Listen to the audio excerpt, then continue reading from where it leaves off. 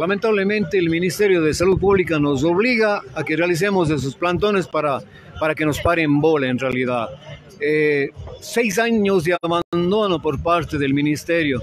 No tenemos nuestro subcentro de salud, lamentablemente. Pedimos la comprensión de todos ustedes, ciudadanos. Estamos exigiendo la construcción de nuestro subcentro. Ya tenemos seis años esperando, esperando. No tenemos una digna atención donde nos están atendiendo ahorita los médicos arriba en Asunción. El derecho a la salud es prioritario para todas las personas. No puede ser la excepción nuestra parroquia. Son seis años desde el diciembre del 2018 que nuestro centro de salud está intervenido. Ha quedado a medias, ha quedado en, paredes destruidas, ha quedado en materiales ahí sueltos, en una contratación eh, que prácticamente no se concluyó. Lamentablemente este el ministerio no ha hecho absolutamente nada hasta la presente fecha, solamente ha sido ofrecimientos, los procesos de contratación se han, se han caído.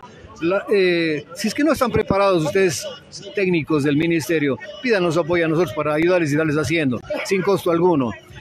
Hemos visto desfilar varios coordinadores zonales, hemos visto desfilar varios gobernadores, todos ellos con la misma oferta de solucionar este tema y hasta el día de hoy se han cambiado dos presidentes y hasta el día de hoy no hay una solución definitiva a nuestro centro de salud. El subcentro de salud en este momento está funcionando de una forma incómoda. En una guardería infantil les hemos quitado a los niños de esta guardería infantil. Y esta es la única forma y manera de llamar la atención a las autoridades. Autoridades que están eh, cobrando sueldos, pero tremendos, y no hacen absolutamente nada. La única forma que el pueblo pobre, el pueblo de a pie, para que nos tomen en cuenta es llegar a esto. Y no, no tenemos miedo a las consecuencias, no tenemos miedo a las consecuencias. Aquí somos todos, que hagan una cárcel grande en Turi para que nos metan a todos, porque todo el pueblo es el descontento que estamos en este país.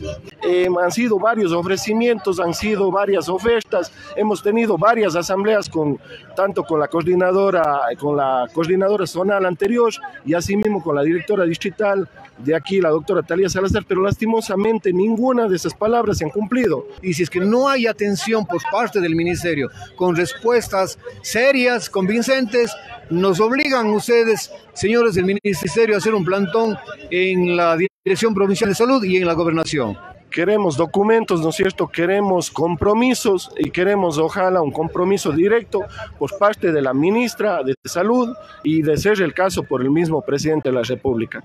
Nosotros ya no queremos más reuniones, no queremos más compromisos verbales, sino queremos documentos que respalden y de ser el caso nosotros estaremos saliendo en mayo, de ser el caso dejar todos esos documentos entregando a la nueva administración para que ellos puedan darle el, el seguimiento y se cumpla la construcción de este centro Rancho